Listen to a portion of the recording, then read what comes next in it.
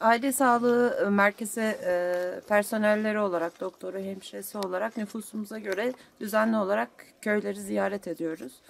Burada özellikle öncelikle e, birinci basamak sağlık hizmetlerini, koruyucu sağlık hizmetlerini veriyoruz.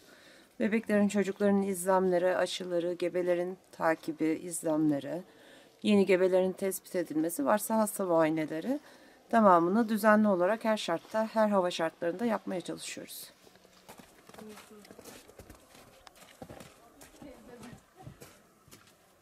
Ne çıksın diyor? Şöyle.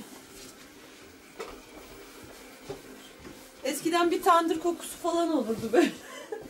Maşallah alamadım bu sefer. Bakalım. Kalk Yakup.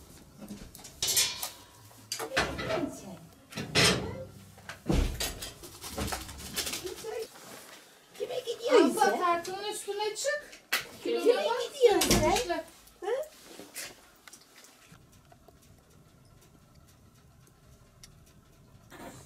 İşte. Maşallah alamadım bu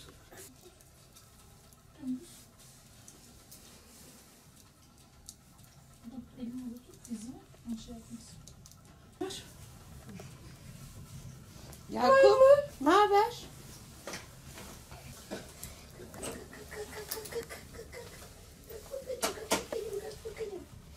Kalk bakalım. Kalk bakalım.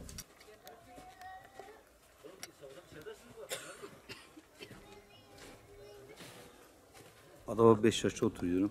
Burası gördüğünüz gibi benim evim. 3 tane çocuğum var. Aile hekimimiz yaz kış demeden yani gelip çocuklara bakıyorlar sağ olsunlar. Muayeneleri olsun, iğneleri olsun.